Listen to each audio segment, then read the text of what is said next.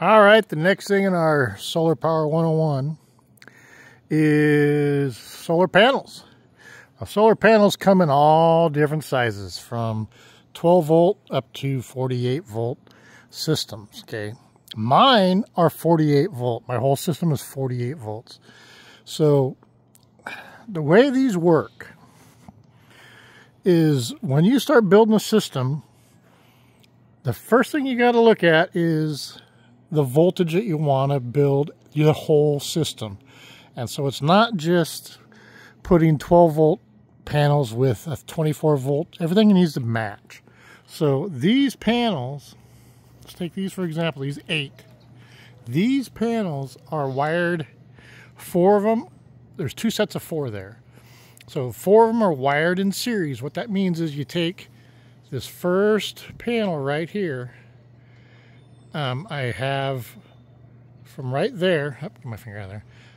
So you jumper from hot to cold, positive to negative on each one of these. Okay, so so let's just take say the bottom four. You would say the one over here at this end is going to go all the way up to the combiner box. But the one the right here between one and two right here those are wired together. So on the left you have a negative and on the right you have a positive. And then the next one between two and three, same thing, positive to negative. And then between three and four, you have positive to negative. Then on the far right side, you have a jumper that goes all the way back up to the combiner boxes, okay? Now the combiner boxes they take your series. So basically, I have, let me, let me back up a little bit. So we have the first four, the lower level here, right? Let's say those are wired in series, okay?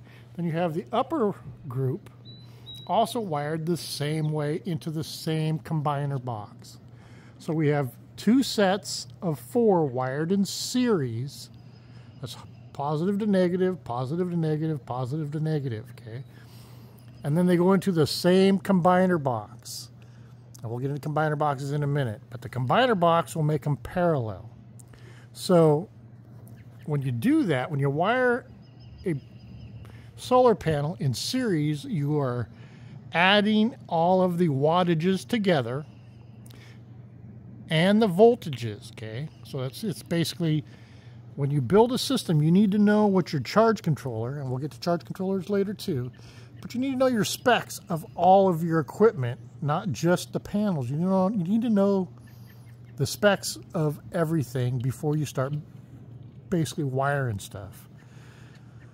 Okay, so my panels, like I said, are all 48 volt.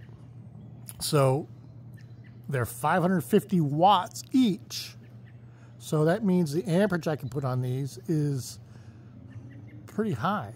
So if you have that bottom one right there, right?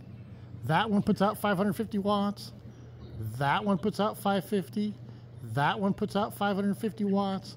And that one puts out 550 watts. And they are all wired together. They're in series. So that is 2200 watts those four panels can put out in a bright sunny day. Okay. And then the upper one is the same thing 2200 watts DC power at 48 volts. So if you were to take 44, tie them together, because you're going to parallel them together, as soon as you parallel them together, it doubles the wattage but keeps the voltage down. You're basically cutting the voltage in half by doing that, which is huge when it comes to the charge controller. Okay, so solar panels let's wrap this up. Solar panels